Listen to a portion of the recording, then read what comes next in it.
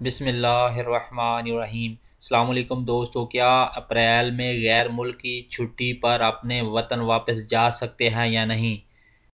فضائی کمپنیوں کی جانب سے ٹکٹوں کی بکنگ کب سے دوستو شروع ہو رہی ہے؟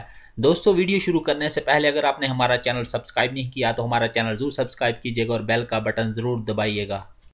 جیسا کہ دوستو آپ جانتے ہیں کہ کرونا وائرس کی وجہ سے سعودی عرب میں دنیا کے بیشتر ممالک میں لوگوں کو ہنگامی صورتحال کا سامنا ہے۔ اس صورتحال کے حوالے سے ہر ایک کی کوشش ہے کہ وہ سعودی عرب سے پاکستان جانے اور واپس آنے کے علاوہ اقامہ کے مسائل کے بارے میں زیادہ سے زیادہ معلومات حاصل کریں۔ سعودی عرب میں دنیا کے بیشتر ممالک میں کرونا نے وبائی صورتحال اختیار کر لی ہے۔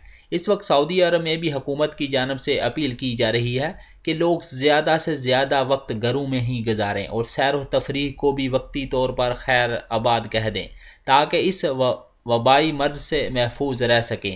لوگوں کو وبائی مرض سے بچانے کے لیے سعودی عرب کی علماء کمیٹی نے نماز با جماعت بھی عارضی طور پر روک دی ہے۔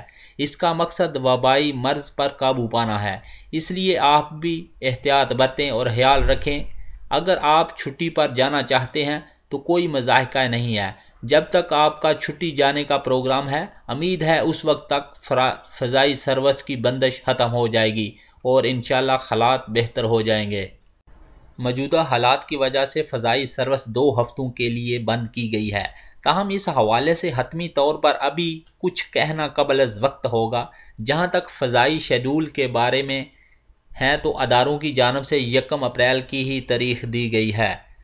جب سے ای ٹکٹنگ کا آغاز ہوا ہے، معاملات کافی مختلف ہو گئے ہیں۔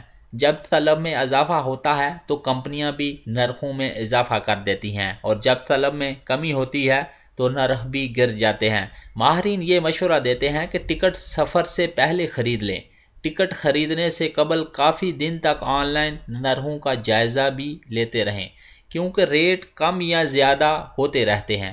ابھی تک کی معلومات کے مطابق تمام فضائی کمپنیوں کی جانب سے ای ٹکٹنگ کے لیے بکنگ کی تاریخ یکم اپریل ہی دی گئی ہے۔